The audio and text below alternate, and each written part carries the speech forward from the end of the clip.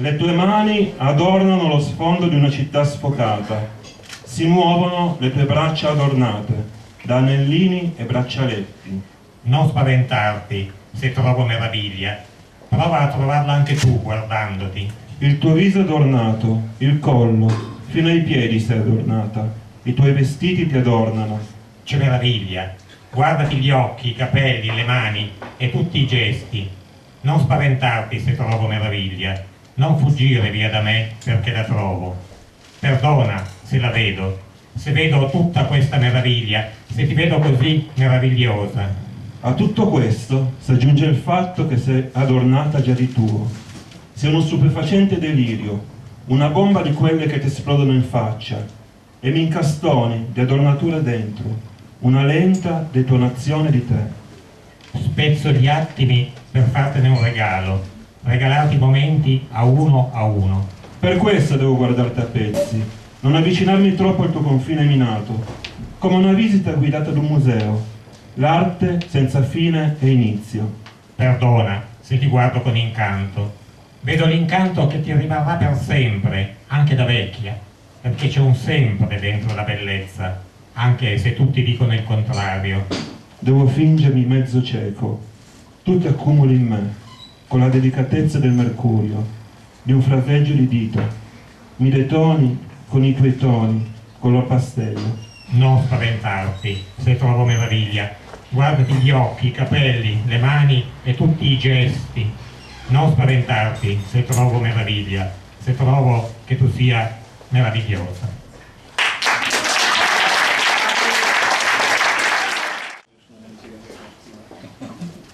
Abbracciati sul divano, la camera linda, la luce lenta della pioggia.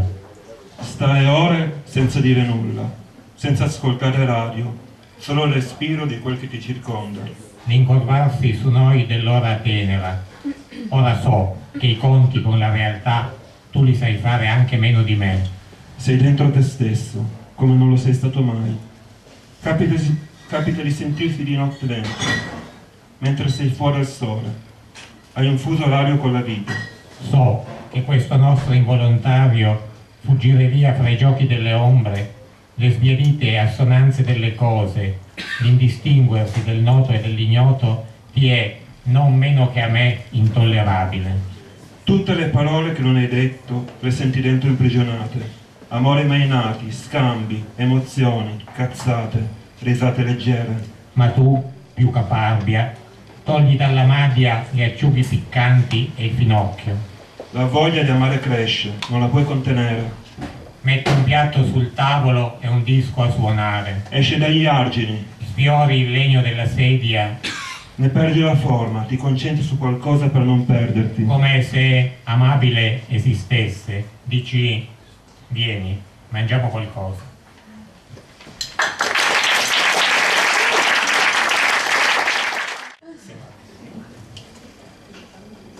Da dove viene questa nostalgia di un luogo privo di distanze eppure aperto, infinitissimo?